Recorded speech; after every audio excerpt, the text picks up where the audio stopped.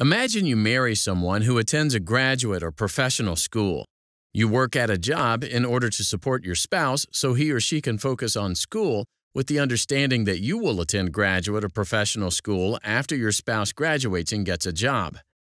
But soon after your spouse graduates, he or she serves you with divorce papers. As part of the divorce proceeding, can you countersue for the value of the support that you provided?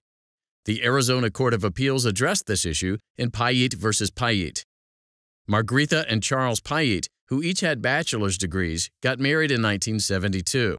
In 1974, they made plans concerning their postgraduate educations. Margrethe would work and provide support for Charles during law school.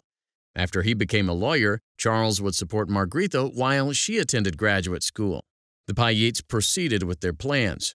Charles eventually graduated from law school and got a job, but he filed for divorce in 1978 before Margrethe attended graduate school.